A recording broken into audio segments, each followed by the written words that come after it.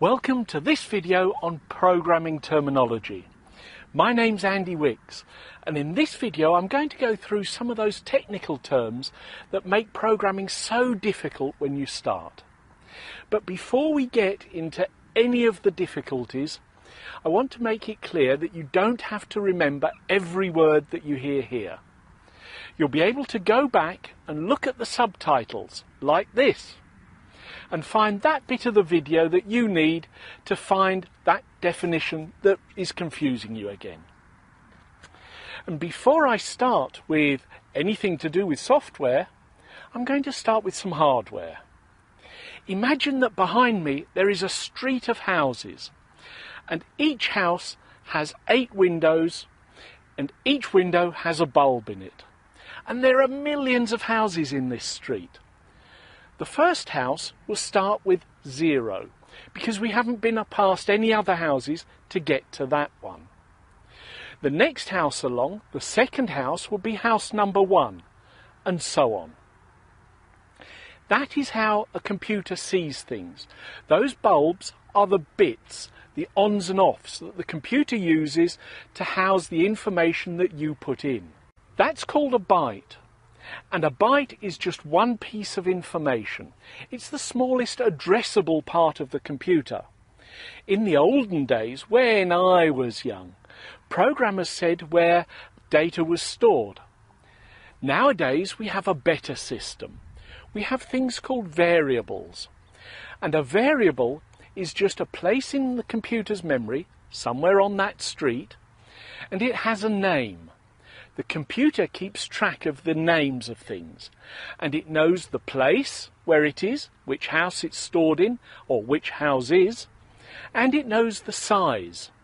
So it knows to have 10 houses worth of data or 4 houses worth of data, depending on what it's doing.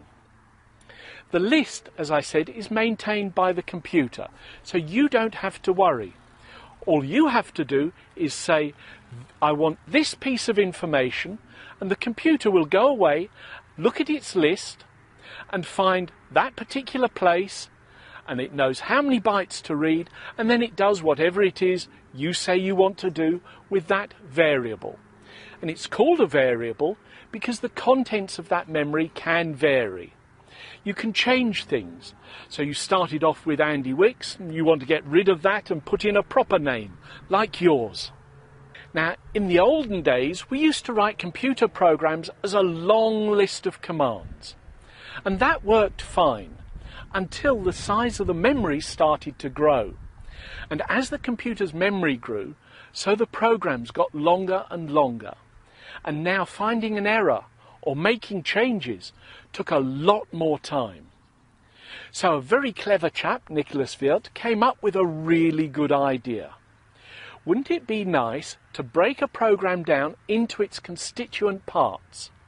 These tasks, a method, a something that needs to be performed.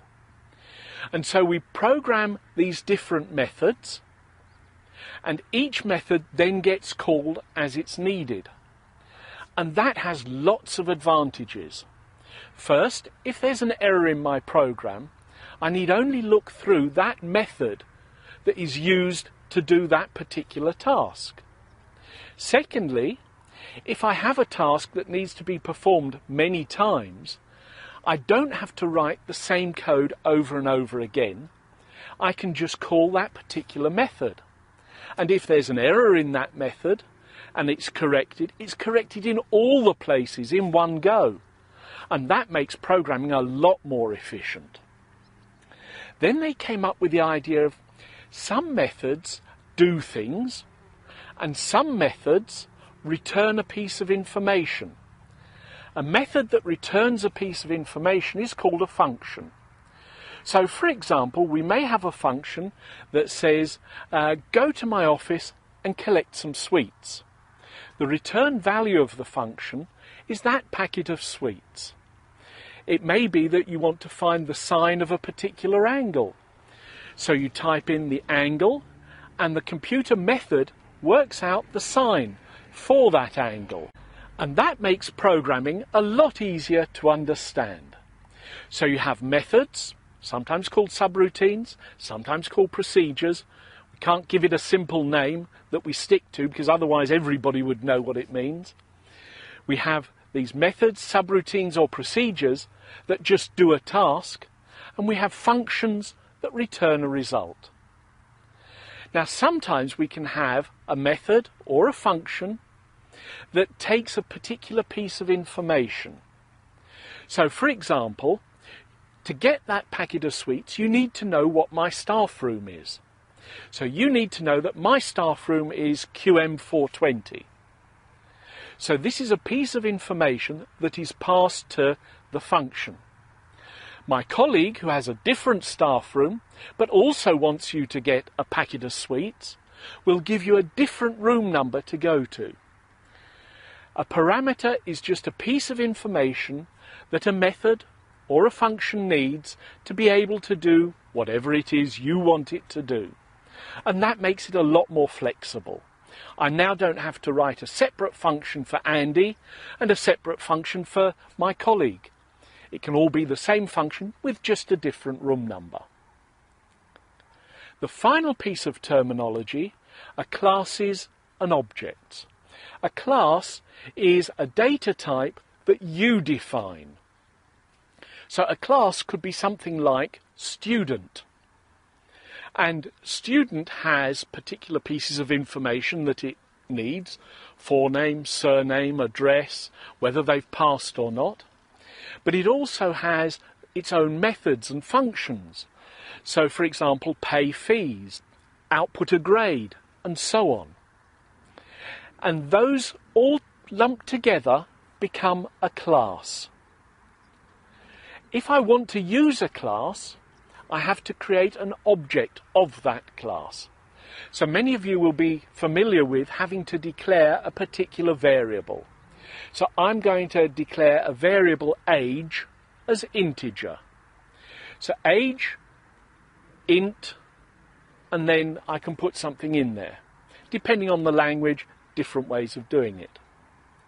Exactly the same happens with classes.